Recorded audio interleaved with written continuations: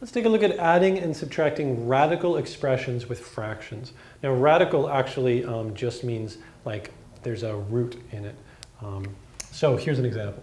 Let's say you've got um, square root of 2, 2 square root of 2 over 5 plus 3 square root of 2 over 5.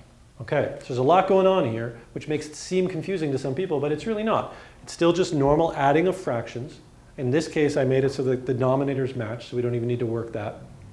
So when you add fractions, you keep the denominator, so the denominator is 5, but you add the tops. So the 5 plus 5 we don't add, that just carries over. The tops we add.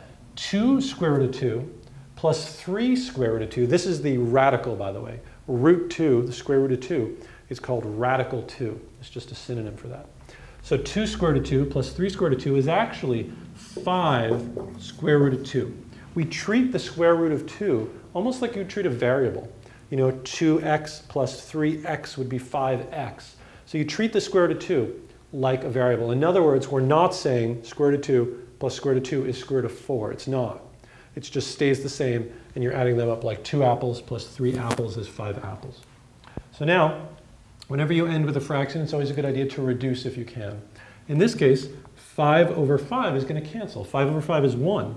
So that cancels out, leaving me square root of 2 as the final answer. Now if I'm going to subtract, it's going to be the exact same thing. I'll do one real quick. So if you have 3 square root of 5 over 2 minus 2 square root of 5 over 2, same thing. The 2 you bring over, 3 square root of 5 minus 2 square root of 5. 3 minus 2 is 1. You keep the square root of 5. It's like 3 apples minus 2 apples is 1 apple. That's how you treat the square root. Um, so we have 1 square root of 5 over 2, and that's fine. That's a final answer. But you can also just write square root of 5 over 2 because the 1 we don't really need.